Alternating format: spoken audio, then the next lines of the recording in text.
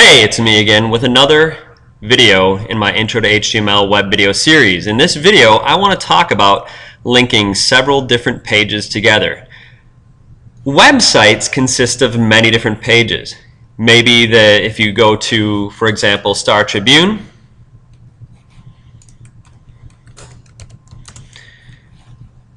you're going to find lots and lots of pages. You'll find pages that are going to be about local information. So when I click on local, it takes me to another page. Business takes me to another page. And business has several sub pages. Your money, for example. Entertainment is another page. And I've got tons and tons of sub, sub pages. Each website might contain 20, 30, 40, 50 pages. Some might even contain more. In this class, I'm only going to require you to do five-page websites. Really short and simple. I want to show you how to set up one of those five-page websites right now. It's actually quite easy. We're going to start with just a web page, and you'll see that this web page, all it contains is an H1 that says page 1, an H2 that says photo of people, and two images. And you saw these in my images video from a little while back in order to make um, several pages and link them together, first I have to make all those pages. So what my philosophy usually is when I start designing a website is I hammer out a layout for my first page. And it's going to be kind of like a template that I'm going to use over and over and over again. Let's say that the web page that I'm making right now is just going to contain my H1, my H2, and two images on every single page. Kind of a boring website, but I want to keep this simple. So here's how I'll start. I'll start with my, my template page and I'll save it again. File, Save As. Now you'll notice the file that I created is called linking1. See, linking1.html. I'm going to make another page. I'm just going to call it linking2. I'm going to keep the name as simple as possible. Click Save. Now I'm going to save it again. File, Save As. And I'm going to create linking3. Now you might notice when I saved, linking 2, it created a whole other file. So I've got linking 1 in there, and now I've got linking 2 in that same folder. I've created two files. So when I create linking 3 here, when I save it as linking 3, it creates another new file entirely. So what I'm doing is making duplicates of that one template page. This is a quick and easy way of making a website. Save it, save it again, File, Save As, linking 4, and then File, Save As, linking 5. Save it. Now if I look in my folder,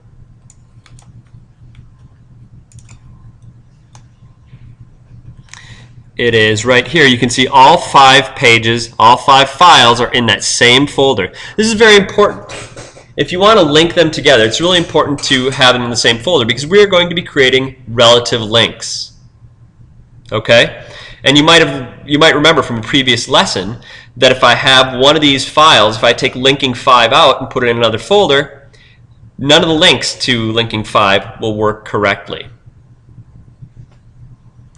All right, now I'm going to make my navigation to navigate in between all these pages. And I'm going to use the nav tag. This is new. Nav. Nav tag is very similar to header, footer, and article in that it's a semantic element. It doesn't provide any kind of style. All it does is defines the area in between the opening and closing nav as navigation type content. And this is where I'm going to put all my links. Generally in websites, what a lot of designers do is they start with something called a UL. And we'll explain this in a, in a future lesson. A UL is an unordered list. And ULs require something called LIs, which are called list items. Okay, these are going to be the, the bulleted lists that you see on websites. I'm just going to put a link in between the opening and closing LI here. And we've seen how to do links before. A, href equals and close A. Now, in here I need to reference another file, and that'll create our link. Right now, I'm, I'm editing linking 5. I'm going to link back to linking 4.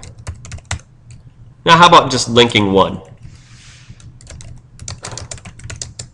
I need to put some content in there in between the uh, link tags so that I've got something to actually click on. I'm going to save this and look at it in the browser. Okay, so here's my list item. You see it's got a bullet. And then here's my link. If I click on this, it'll take me back to page 1.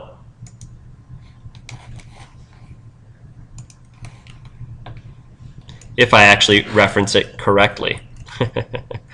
Sometimes when I'm doing this, I don't pay too much attention to what I'm doing. I have to reference it by file name correctly. So linking1.html. If I look in my folder, this is how it looks. It's linking1 with no space there, and it's an HTML file. So just like with images, I have to reference it by file type, and I have to reference the name exactly correctly. Now it will work. See, sometimes I make mistakes. Not very often, but I do. Now I'm just going to copy this line here, this li to li.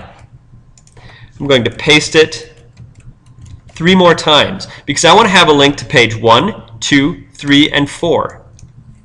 So I'm going to modify the content first, and then I'll modify the paths.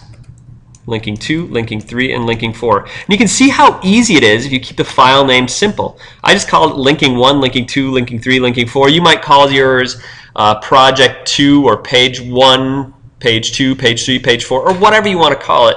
But keep your file name simple. It makes it really easy to um, copy and paste everything. I'm going to save that. Now I need to open up all of my other pages in Notepad++. So I'll go File, Open, open pages 1 through 4, just like that. So I've got 5 right here. 1, 2, 3, 4. And now I need to put these links in here as well. So I'm going to copy this entire nav thing, paste it right in here, and then change my content. I'm on page 1, so I don't need a, a link to page 1. I'm going to link to page two, three, four, and 5. 2, 3, 4, and 5 save it, and I'm just going to do the same thing for all the other pages. Paste it into page 2. Link to 1, 3, 4, 5, 1, 3, 4, 5. I've got to make sure I change the paths as well as the content. Go to page 3. Link to page 1, 2, four, five, oops, change the path, one, two, four, five, save it, go over to page four, and this is the last one I need to do, one, two, three, and five. And now we've just created a five-page website. So I can go to page 2 and you can see I'm on page 2, page 3, I'm on page 3, page 4, I'm on page 4, page 5, and I'm on page 5. Now, if you followed along with this video, you can use this navigation as a template to build your other websites. Pretty easy stuff. I hope you enjoyed it.